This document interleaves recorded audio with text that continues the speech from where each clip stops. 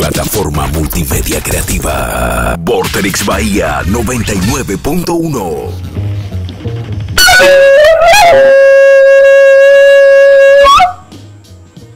Hola, hola, habemos Valerio Marinetti, vuestro enviado espacial por los museos del mundo, ya está aquí. Aquí llegó, vale, vale, vale. Valerio Marinetti llegó, ya llegó. Comienza la función, vale, vale. Que ando museo. ¿Qué gusto tiene? Habemos museado.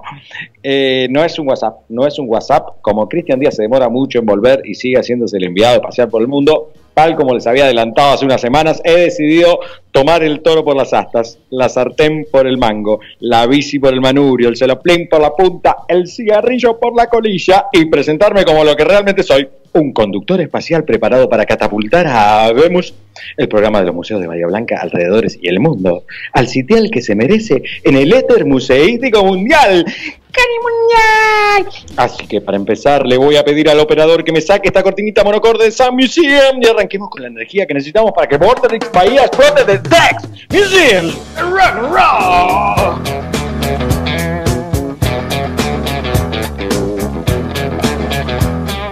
Sex and drugs and rock and roll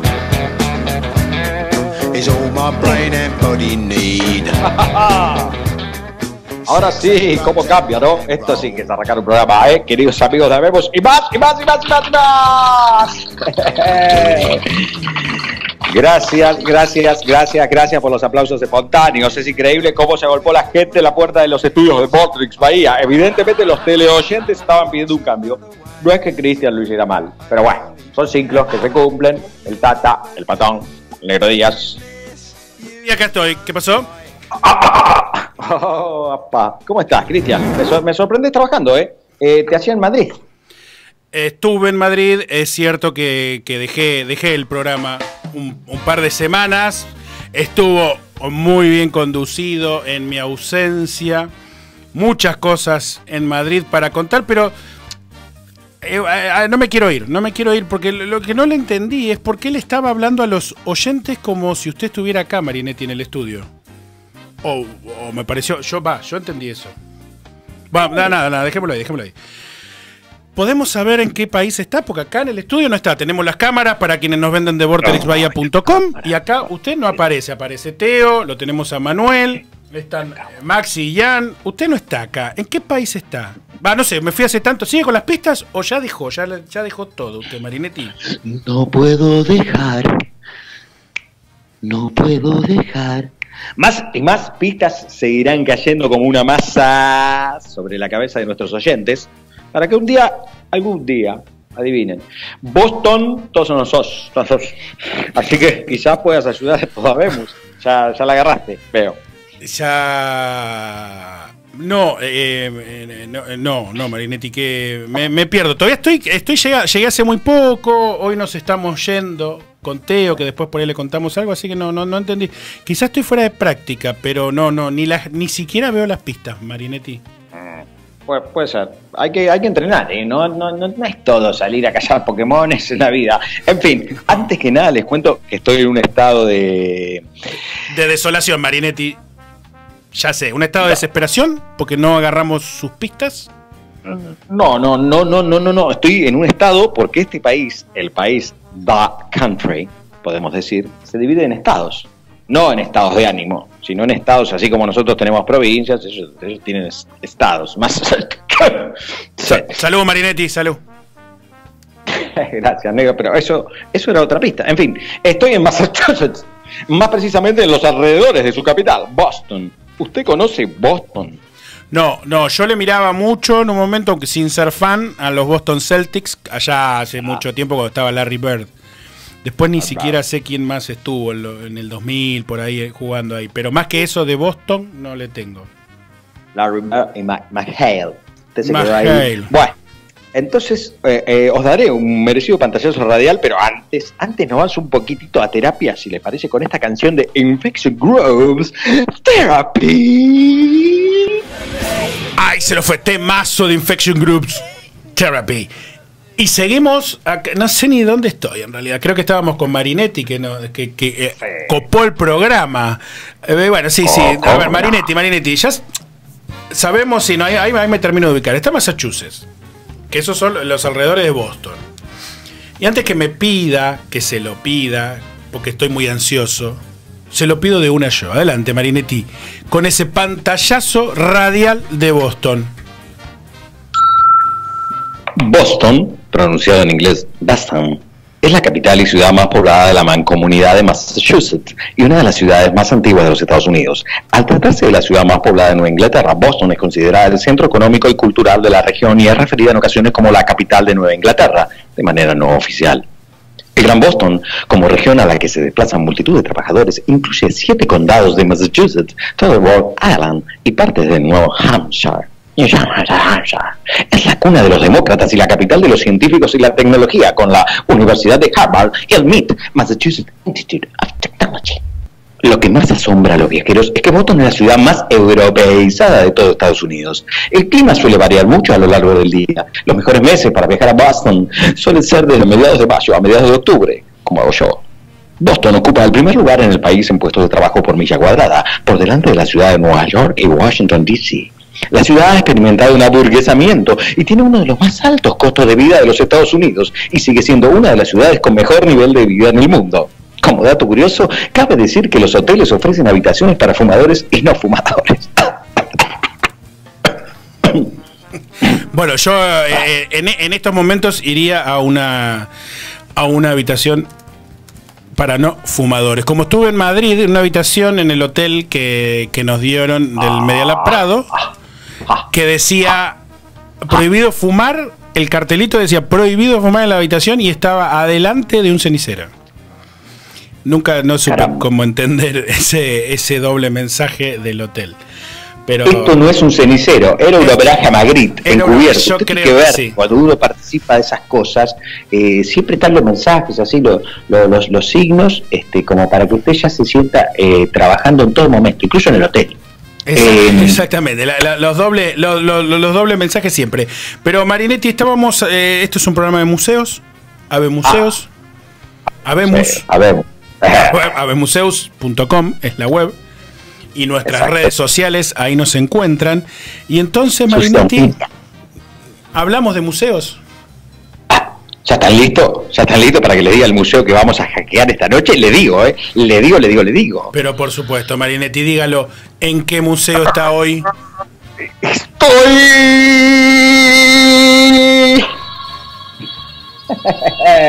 Estoy en el MOBA, es decir, en el Museum of Bad Art, es decir, el Museo de Arte Malo en Boston, Massachusetts. No, muy bueno. Un poco de cumbia en Vorterix Bahía para mover el cuerpo, el esqueleto. En homenaje a Bob Dylan, que ganó el, el Nobel de Literatura. Tal cual. Saludamos, saludamos a Dylan a- a- a la- por su Nobel. Merecidamente ganamos, o no sé, pero está bien, me parece que está bien que lo haya ganado. Pero a ver, Marinetti, cuéntenos un poco de qué se trata eso del Museo del Arte Malo. Así mismísimo como lo oyen, amigos de Abemus, aquí en el estado de Massachusetts, en los alrededores de Boston, como ya le dije, hay un museo que en lugar de obras maestras se pone los peores fracasos artísticos. ¿eh? Mm, Desde 1994 aquí se muestran las creaciones más desastrosas realizadas en nombre del arte. Todo empezó cuando uno de los fundadores encontró la primera pieza, Lucy in the Field with Flowers, en un montón de basura en la calle. Scott Wilson, vendedor de antigüedades, mostró una pintura que había recuperado de la basura de algunos amigos, así que sugirió comenzar una colección. Luego encontraron otras más y fueron exhibidas en el sótano de un teatro en Dedham. La colección fue creciendo, creciendo, el número de visitantes se llenó, el MOBA, ¡pum!, explotó. Mientras que todas las ciudades del mundo tienen al menos un museo dedicado a lo mejor del arte, MOBA es el único museo dedicado a coleccionar y exhibir lo peor. Allá tenemos algún museo que le siga los pasos, Eh, con o sin intenciones, ¿no? A ver si pasa. Eh, a ver, Manuel, Manuel quiere hacer un comentario. Vamos a ver.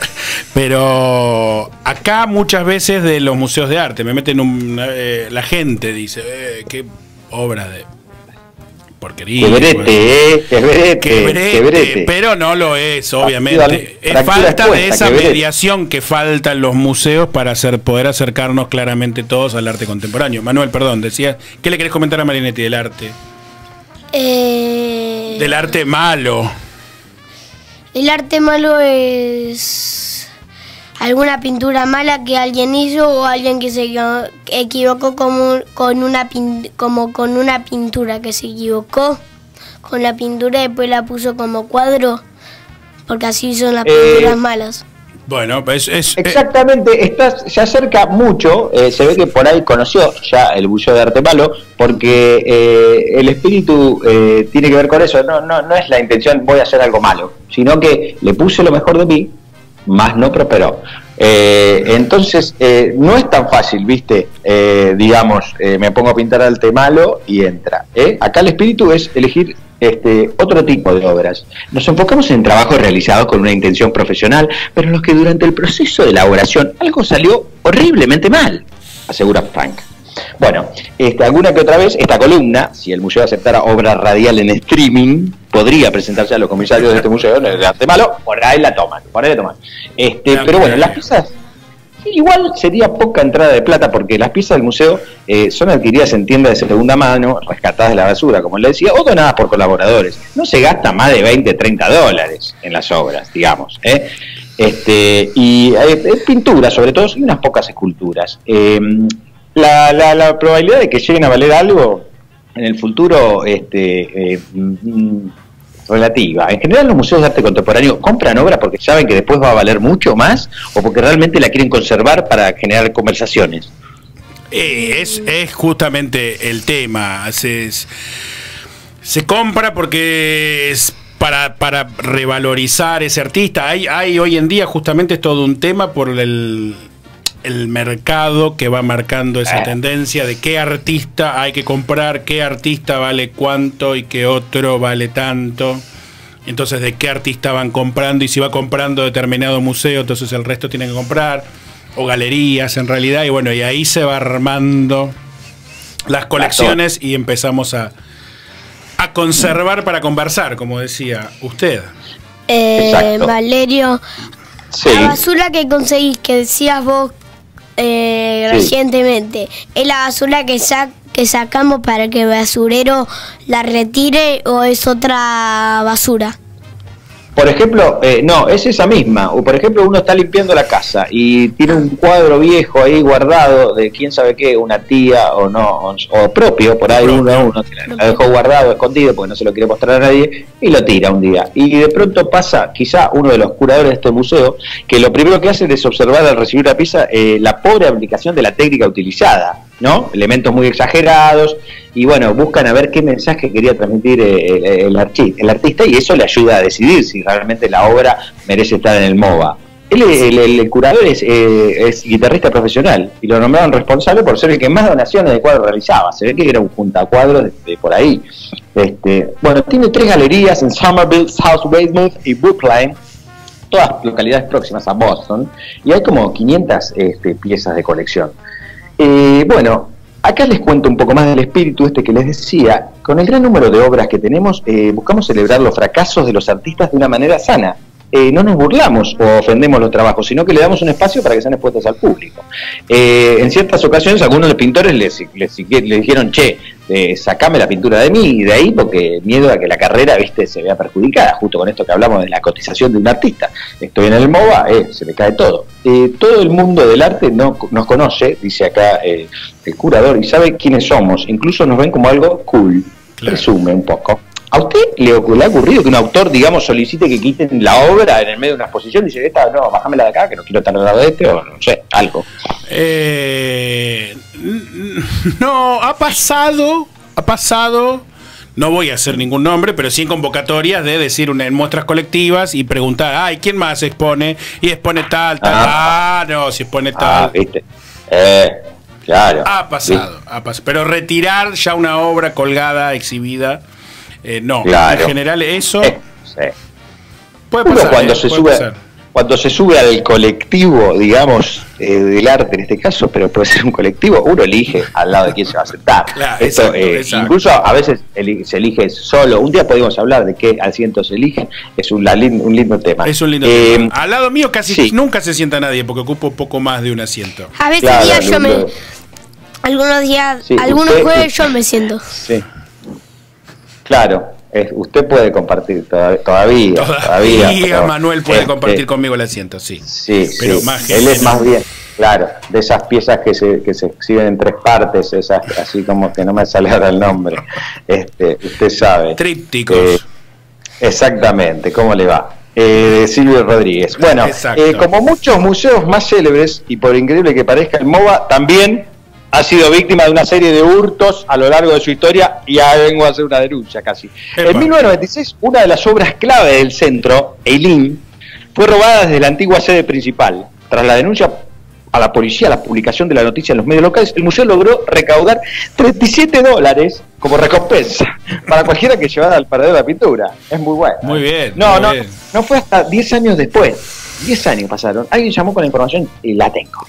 5 mil dólares. Mm, el museo dijo, no, re, que estás loco. Rechazó el chantaje y consiguió un acuerdo entre las autoridades y el criminal. Si devolvía la obra intacta, no sería acusado de ningún delito. Al poco tiempo, pum, el cuadro regresó a su sitio. ¿Eh? ¿Qué tal? Allá tenemos obras robadas, hemos tenido casos, ¿verdad? ¿Verdad? Sí, sí. Bueno, el más resonante es cuando tuvimos a Claudio Redolfi, que hizo mención en el, en el programa de ese homenaje que le hicimos, que casualmente hoy el Consejo Deliberante le hizo una, la entrega de una medalla y un sentido homenaje entre todos los Un concejales. viaje a Europa para Redolfi. Sí, hay que, hay que retomar ese hashtag. Hay que retomar ese hashtag y le vamos a bancar el viaje de alguna manera a Redolfi.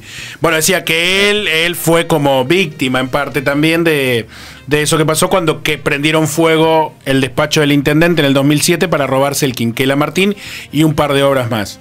Que el Quinquela se recuperó enseguida, aún hoy hay obras que siguen faltando de esa colección.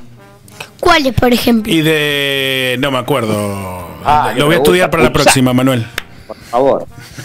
No, yo no, porque yo no me acuerdo. Que hurte.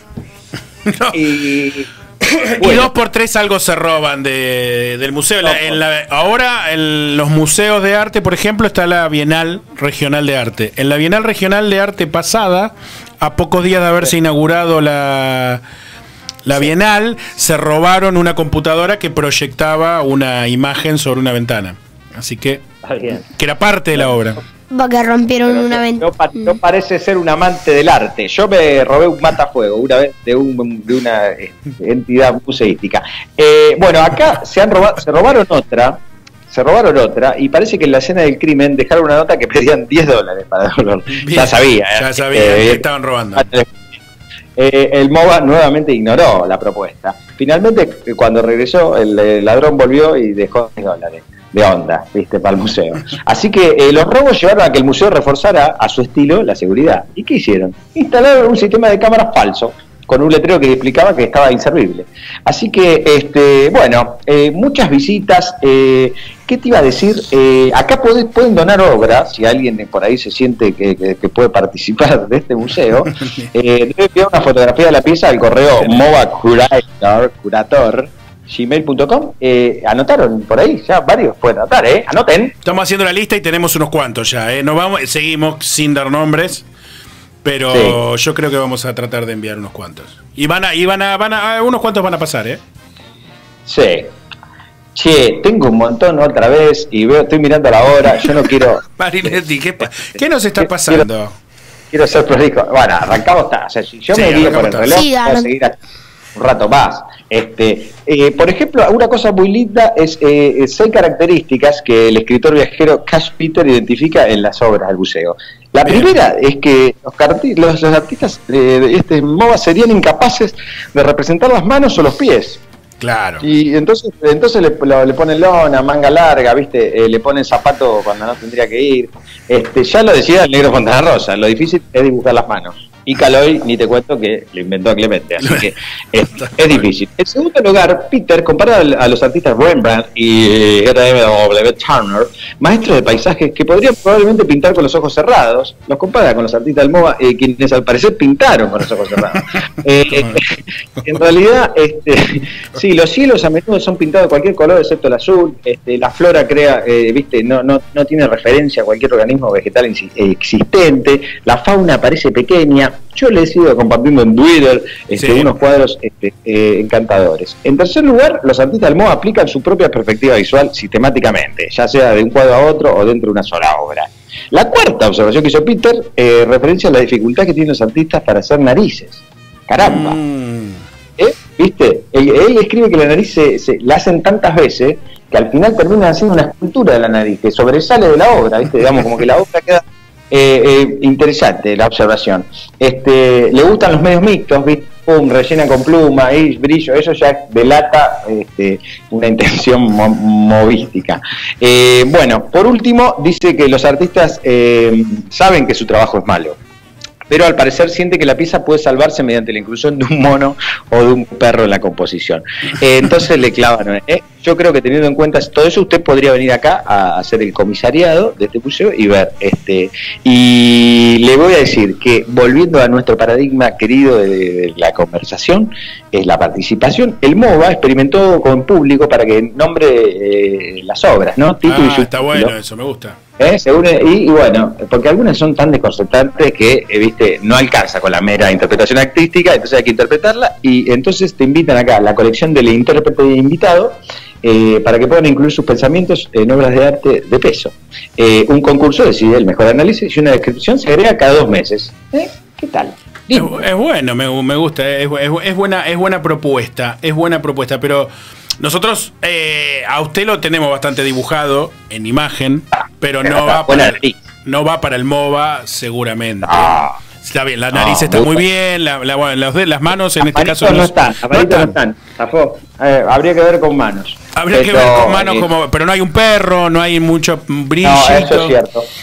Yo creo que exacto. estamos ahí. estamos- Pertenece al Museo de los Humanos. Perse- Claro, Bueno. ahí está. Pero bueno, igual vamos a ver, Marinetti, ¿me permite la pregunta? Sí. Yo ya creo que debe estar intuyendo Sí. qué le voy a preguntar. A mí me, ¿qué me interesan a mí de los museos? Souvenir, souvenir. Algo Tal cual. tenemos, claro, Bien. por supuesto. Tenemos las postales, las Bien. típicas postales del Museo of Bad Art Reading House, eh, con las obras maestras del museo.